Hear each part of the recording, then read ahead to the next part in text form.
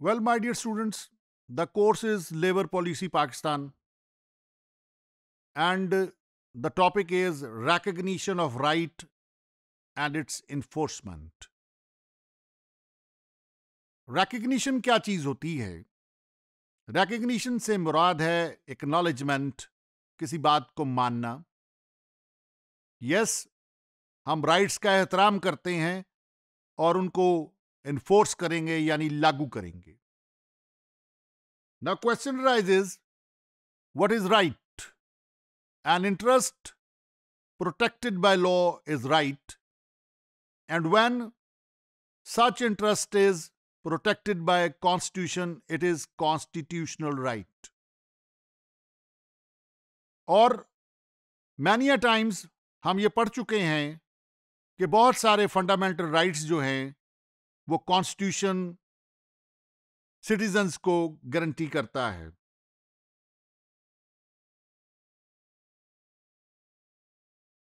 Citizens का ये right है कि वो in accordance with law treat हों। जब इन अकॉर्डेंस विद लॉ की बात हो रही है तो यहाँ पर आप स्लाइड पर देख रहे होंगे बोल्ड और अंडरलाइंड टर्म्स हैं आर्बिट्रेरी पावर्स जब वो in accordance with law treat होंगे तो नेचुरली रूल ऑफ़ लॉ के मुताबिक ट्रीट होंगे और आर्बिट्रेरी पावर्स से बचेंगे। आर्बिट्रेरी पावर क्या होती है? Power that is not granted by law that which is not granted by law is arbitrary powers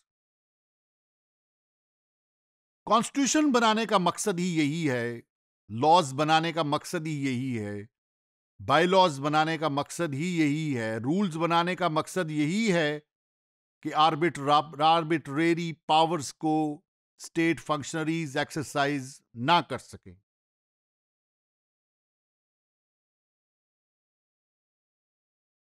ये जो अंडरस्टैंडिंग है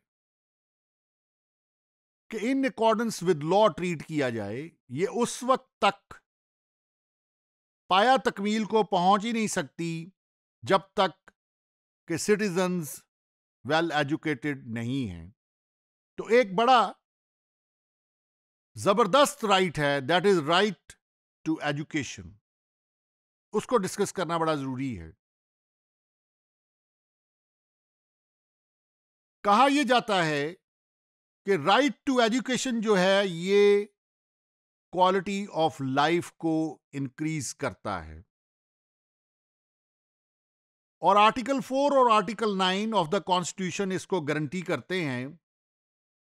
Awareness of rights and duties growth of civic consciousness in a society enjoyment of fundamental rights granted under the constitution and legal empowerment of people depend to a great extent on quality of education. अगर education नहीं है, किसी को अपने constitutional rights का पता ही नहीं है तो उसमें क्या सिविक कॉन्शियसनेस डेवलप होगी ये केस है पीएलडी 2003 लाहौर उसमें ये बात कही गई कि people cannot be free in real sense unless they are properly educated. My dear students ये आपके पास एक स्लाइड है, इसमें एक जूनियर अफसर के बारे में बात की जा रही है कि उसने एक ग्रीवियंस पटिशन हाईकोर्ट के सामने फ़ाइल की और उसमें लिखा कि जो मेरा रिस्पोंडेंट है, वो जूनियर अफसर है और उसको प्रमोट कर दिया गया है। तो ये एक गलत बात है, ये मेरा राइट है। इस जिमन में यहाँ पर यह बात की गई हाई कोर्ट ने यह बात की seniority was to play a decisive role and ought to have been adhered to एक शख्स जो सीनियर है उसके मुकाबले में जूनियर अफसर कैसे नेक्स्ट पोस्ट पर अपॉइंट हो सकता है, प्रमोट हो सकता है। Therefore it was held that this was done in violation of article four of the constitution of Pakistan 1973 तो सीधी सी बात है राइट्स है, उनकी इन्फोर्समेंट है हाई कोर्ट को एम्पावर किया है तो राइट्स की रिकग्निशन बड़ी ज़रूरी है राइट्स को जानना बड़ा ज़रूरी है तो इसके साथ एजुकेशन बड़ी रिलेट करती है। वेल एजुकेटेड सोसाइटी जो है, वो एक पीसफुल और जस्टिसेबल सोसाइटी कहलाती है।